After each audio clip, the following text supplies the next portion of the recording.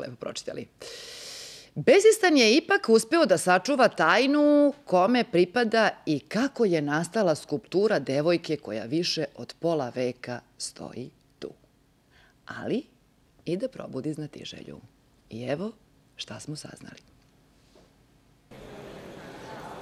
Čuvena devojka sa školjkom je u stvari košarkašica Marina Gostović.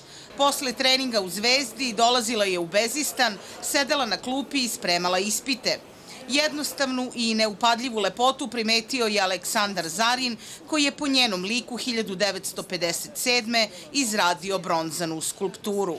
To je bilo vreme dok je ona studirala na arhitektonskom. Inače, ovaj Bezistan je bio fenomenalan. Tu su se sastajali i sportisti, i glumci, šta da vam kažem, novinari. I ona je tu za vreme pauze, pošto i popodne dolazila, tu je bio dečko s kojim se zabavljaju. To je Milorad Milutinović, jedan od trojice braće.